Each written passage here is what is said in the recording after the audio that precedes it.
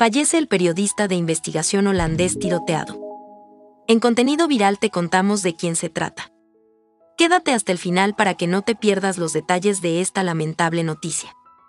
El periodista neerlandés Peter de Vries, especializado en investigación del crimen organizado en Países Bajos, murió este jueves como consecuencia del tiroteo del que fue víctima el martes de la semana pasada en el centro de Ámsterdam, según informó la familia del reportero.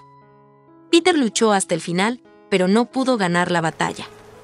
Estamos inmensamente orgullosos de él y al mismo tiempo con una sensación inconsolable, escribieron sus allegados en un comunicado. El reportero murió a los 64 años, en presencia de su familia en un hospital de Ámsterdam, donde estuvo más de una semana luchando por su vida, con heridas muy graves. Debris fue víctima de un tiroteo el pasado 6 de julio por la tarde en el centro de Ámsterdam, cuando abandonaba los estudios de televisión de un programa en el que solía participar con frecuencia como experto en crimen organizado. El atacante disparó cinco veces y uno de los disparos alcanzó la cabeza del periodista. Después del tiroteo, la policía neerlandesa detuvo cerca de La Haya a dos personas como sospechosas del tiroteo, que se encuentran arrestadas.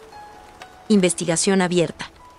Un hombre de 35 años y nacionalidad polaca, que reside oficialmente en la ciudad de Maurik, centro de Países Bajos, es, según varios medios locales, Camille, quien presuntamente conducía el coche con el que el autor del tiroteo se dio a la fuga desde el centro de Ámsterdam hasta que fue arrestado en la autovía cerca de La Haya.